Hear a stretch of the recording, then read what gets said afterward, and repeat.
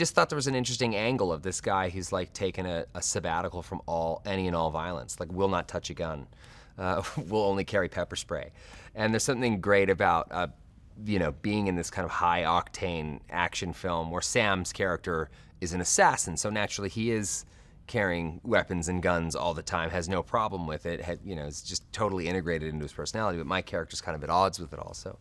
Um, so I really enjoyed that that aspect or that element of the movie, and you know, it's uh, it's something I've been able to do in a few sort of larger scale action films lately. Is that you know necessity is the mother of invention. So if you take away this idea that we you know we step step up to the plate in all sort of action sequences using uh, guns as you know tools of violence, and instead we have to think outside the box and say, okay, like if you're going to do a big fight sequence and you're not going to use guns, what do you do? You know, and it it stretches everybody, it makes everybody better, uh, it makes me better. You know, so um, I love that. My character Bryce is sort of the the the kind of you know less, I guess, well, more violent uh, in the more violent world of like Neil Page and Del Griffith from Planes, Trains, and Automobiles, I'm this like exasperated straight man who's just had enough. Uh, and Sam kind of brings this mercurial, crazy element, and then Salma just like next levels that. So, you know, we're really sort of filtering the narrative through the prism of Bryce's kind of viewpoint and experience of these two people who are literally made for each other. They're both they're crazy, his crazy matches her crazy, and vice versa. So um, they really, it really does bring it to a new level. I'm obsessed and I love this cast. I mean, working with Sam is like this. I always think of me and Sam are sort of like kelp underwater. Like we kind of like move together in this great way with the current. And then when you add Salma into the mix, who just I think just makes both of us better at what we do and really wakes us up each and every day. Um, it was such a ball. It was just such a ball, every second of it. Um, you know, I know a lot of actors say that they miss their cast or miss their crew when they're leaving a, a, a, set. I don't know if it's always genuine, but with this this film, it really was. Like leaving that set and leaving those guys, and us all, you know, head back to our normal lives. It was uh, it was it took some adjustment because it was just such a beautiful experience to shoot with them.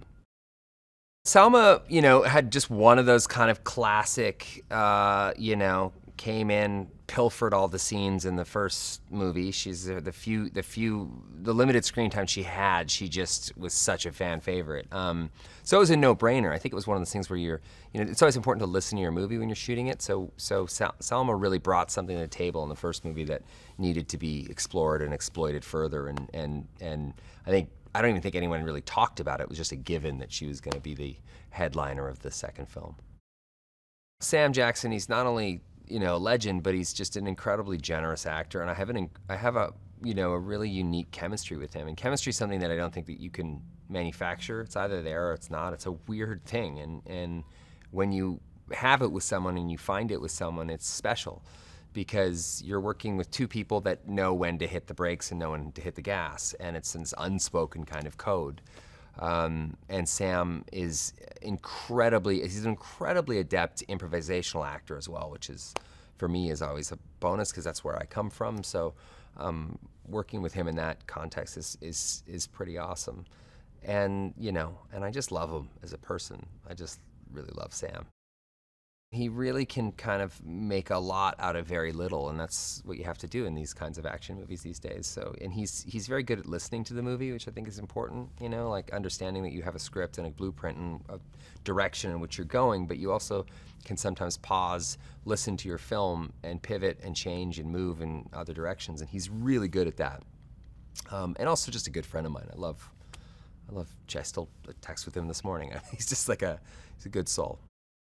The sequel builds on on the first movie in a delightful way. Sometimes it can be terrible because the sequel just sort of exploit all the great things about the first movie and then reiterate them again. This movie doesn't do that. It sort of hijacks the tone and the sentiment in a great way, but gives life to so many more new um, and wild elements. So uh, it really does improve upon that. Also, like it was conceived from the get-go as an action comedy, unlike the first movie, which was sort of pivoted and, and, and recalibrated into something uh, shortly before shooting.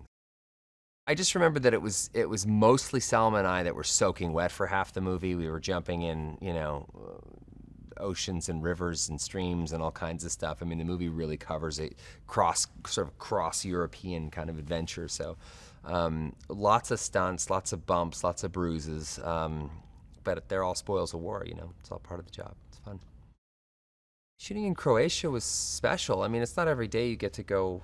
Um, you know, to a country like that and, and really immerse yourself in that culture and, and you know, and, and spend time, you know, in that on among those people and you know in those sites. Also when you're shooting a film you get you're sort of sent to the most amazing places and locations that that country might have to offer. So um, I loved shooting in Croatia. It's always great and special too when you get to go play someplace that you've never been to before. So I was there with my whole family. They loved it as well. It was really beautiful. For some reason Sonia likes him in a in a different way you know? I, I can't say that I don't like him. Uh, I know that we have enmity and you know, we're, we're in a kind of business where once something happens, you don't kind of get over it. Uh, so I haven't gotten over the fact that he's been trying to kill me and I've been trying to kill him for so long. Uh, she wants me to, and I'm trying desperately to make her happy. Uh, she sees something in him that I don't particularly see. The dynamic between, you know, Bryce and, and me is always going to be, you know, contentious in a way. Um, I think that Darius is trying very hard to see what Salma sees and to give her the air to make it possible that you know they're they're okay in a way. Uh, she wants to nurture him. Uh, and in a sense, this time, because I seem to be having the romantic problem, he's grown a bit from what happened to him. Uh, and he's trying to help me get through an emotional state that um, I think is new for Darius for sure and uh, definitely uh, catch as catch can for for him uh, helping me because he didn't know that much about love. It's kind of great that he meets her alone and not with me and her. So it's kind of great that that that happens when she just pops up in his life when he's trying to do whatever and he finds out what it is that I told him attracted attracted us to each other in that seedy bar. You know, all of a sudden, you know, his first interaction with her was a big gunfight. So it's kind of like, okay, you are the same people. And I see why he loves you, because he always asks. Um, and I think he took to her in a different kind of way, um, that she continues to amaze him in terms of, I thought Darius was crazy, but wow, you know?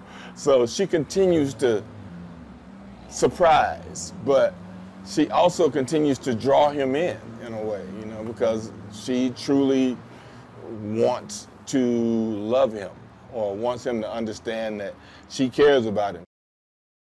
Two crooks in love and what that is, you know, it's like it's bigger than Bonnie and Clyde because you know they're out there and they're European and they're doing this whole you know thing and, and it's kind of wonderful.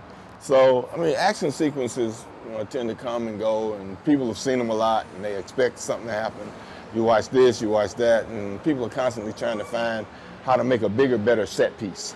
You know, and I think you know that the moments that we can watch Salma and um, Sonia and Darius together. We had a, we had a big problem doing that on set too, calling her real name a lot. Um, but seeing them together and the joy that those two people have being together and who they are and what those personalities mean and, and the links that they'll go to to stay together, you know, is the excitement for me of what happens. Ryan is one of the quickest actors I worked with on his feet. You know, you throw something at him, he throws something right back at you. It might be from left field, but it fits in an odd kind of way and it allows you to respond to him in a specific way. He almost sets you up for what he wants, you know, wants to happen. Uh, very smart actor, uh, really, really, you know, prepared when he shows up. And, you know, he gives it his all. He's, he's a great guy to work with. I've known Salma for a long time. We just hadn't, hadn't really worked together. Uh, she's incredibly funny and, and hardworking. She, she's constantly trying to find that little key that's going to make a scene work for her, that's going to push her to that place that her emotion takes over and the mechanics of the of the of the situation fly out fly out the window so that she can just flow into what's going on there. Uh, wonderful, wonderful person to you know bounce off of. Having those two people together in situations kind of allows for um, that sort of comic confusion that's happened in a lot of different kind of movies. And there are times when it's like, you know, Three Stooges with bullets, uh, which is kind of, you know, a scary concept in, in its own. But uh, they're both, you know, wonderfully um, adept on their feet when things change, they can just boom, they just jump into the change. Or there's a discovery moment inside the scene that we hadn't discovered while we uh, were rehearsing it. We can just continue to flow with it because it's such a good thing that happened in there. To have an opportunity to be in a film with him and to be sort of a foil in another kind of way, you know, it's, it's great joy. You know, I watched him do so much stuff and and respect his ability uh, and I always thought if I was in some, you know, movie with him, it was gonna be like this serious kind of thing, because that's what he does, you know. Boom. Uh, but to see him here, it's like, oh man, this is great. You know, it's kind of like I can use that and assess him in that way because of that respect and what's happening, and the fact that I found out all this stuff about his character in the movie kind of piles on that. You know, you kind of pile on that. Oh, he's all that. He's all that. He's all that. To finally do something with Morgan, which is, like I said once again, I always assumed that whatever I did with Morgan was going to be some kind of serious, you know, heavy kind of thing. And to end up here was it's kind of great, just because I wanted to laugh with him and I wanted to smile with him, and it was a real opportunity to you know, just look at each other and kind of laugh and go, how do we end up here? Look because I mean, we were out there pounding the pavement together, going to unemployment uh, at a certain point in our lives and doing all this stuff. And, you know, he was off doing what he was doing, soaring and being God. And I was lucky enough to achieve what I've achieved to finally come together at this point, you know, as a great kind of, wow, look where we are, you know, from, from our humble beginnings, you know, to, to be able to be in this place and work together. They genuinely connected with the characters the last time they saw it. Uh, and like I said, they wanted to see more of Salma. This time they will. Uh, and the the connection between Ryan and I, you know, only gets better because you know the more time we spend together, the more we know about each other, the more we we love hate each other in a way that you know makes sense. And uh, hopefully people will come in and buy into that again. Didn't that there was going to be a sequel but i was wishing for one because i love my character so so very much. And it was so short i remember being frustrated not to be able to continue to be her for longer and i was and I remember thinking, oh, I hope there's a sequel, and they call me back because I love Sonia so much. And so I was super excited when I found out that um, there was a sequel, that Sonia was back, and that now I have a very, very, very, very big role. So I, I, you get a lot of Sonia on this one. The proudest about creating this character is that she's crazy, but she's not randomly crazy. I was very specific about the choices She's full of contradictions, but I kind of have my own Bible of how she thinks, and um, her contradictions make sense to me. And um, I think that it's very consistent.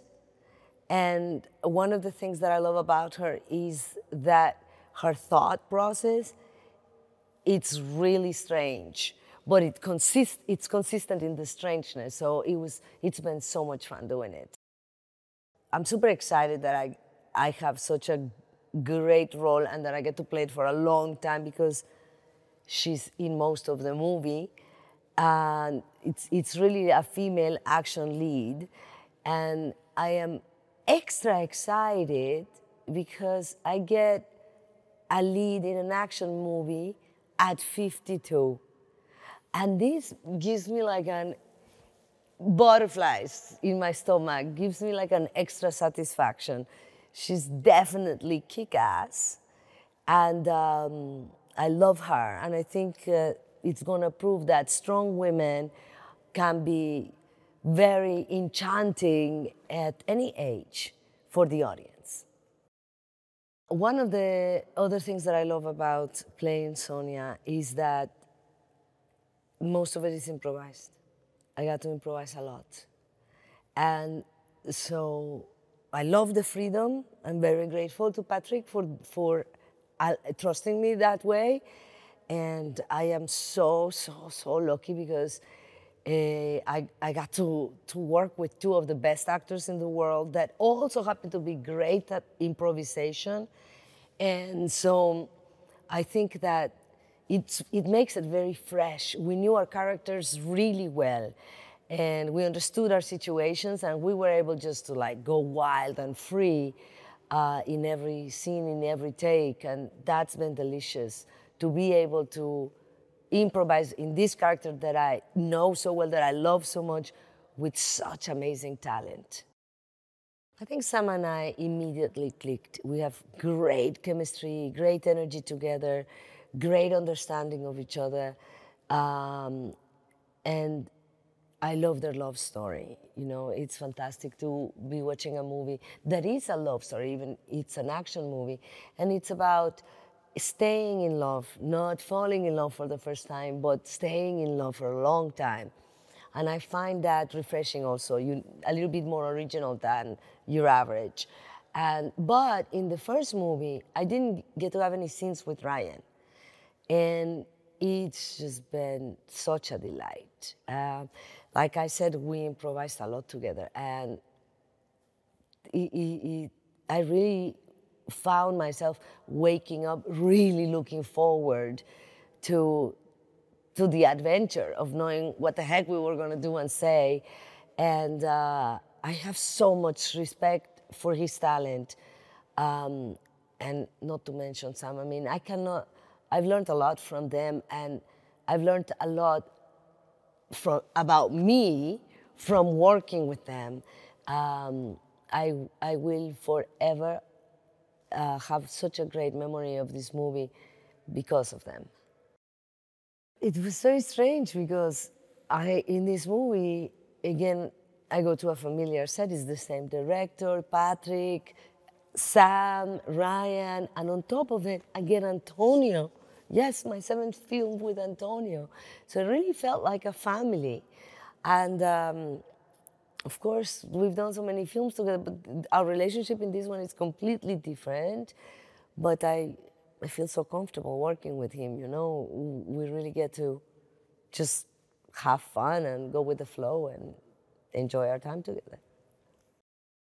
I'm very grateful to Patrick for the opportunity of this making my, my, my role a, a substantial role with Arnark and it's, it's been great working with him. I'm very, very grateful that he involved me in the process of the script from the beginning and um, allow me to really bring in her personality and, and uh, it's, he's a lot of fun. I think there's a lot more comedy in this one than the last one. A lot more. Um, but I think uh, what really worked about the last one is the relationship between these two actors. I don't know that there's two other actors that can do action comedy better than these two, and th- it's just such a great chemistry. You know, the alchemy between them, and I feel really privileged that I got thrown in in in the middle, and I think that it takes their relationship to a new level. So if you didn't see the last one, it doesn't matter. The film stand on its own. But if you saw the the, the last one, then um, it's more about the evolve. Uh, how this relationship evolves, and it's not just the action, but it's really about the relationship. Sam Jackson, I've known for almost 40 years. We worked together in New York back when we were when he was a kid, and I was a little older. Um, and we, we hadn't worked together since, and I like Sam a lot. Um, and uh, I didn't know Ryan except through his work. Uh, but that's as good a come on as you can get.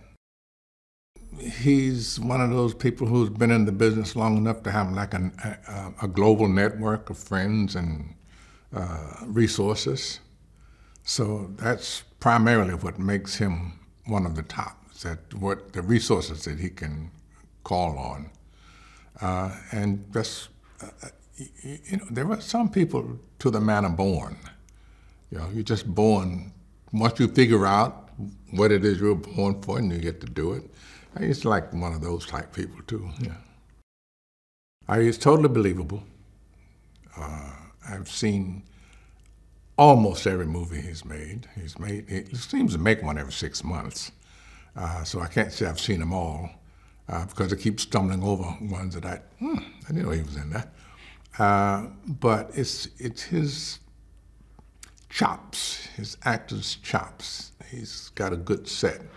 Um, you always believe Sam. I, I don't care what kind of situation you see him in, it's never incongruent.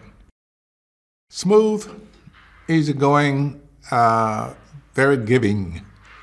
Uh, I think the thing that uh, sets really good actors uh, apart is the ability to just give. Uh, when I was uh, starting out, um, we had exercises in trust uh, and that's what giving requires. That you trust who you're giving to. Obviously, he knows what he's doing, what he wants, and how to do it. Uh, he explains uh, all the time about how he's going to make something fit, you know, because I'm one of those whose questions, uh, wait a minute, why are we doing this, you know? Uh, and he's really good at explaining that, well, this is what's going to happen in post, and I'm going to do this, and uh, um, I'm going to shoot some more, fill this in, blah, blah, blah. Uh, it's one of those directors who is not secretive at all. He's telling you uh, what he's doing and how he's going to accomplish it. And uh, that's fun because in, um, that gives you this sense of collaboration when you know why you're doing things for a director. Where's the buzz? Oh, yeah. Where is the buzz? You said was mine. Oh, where is the buzz?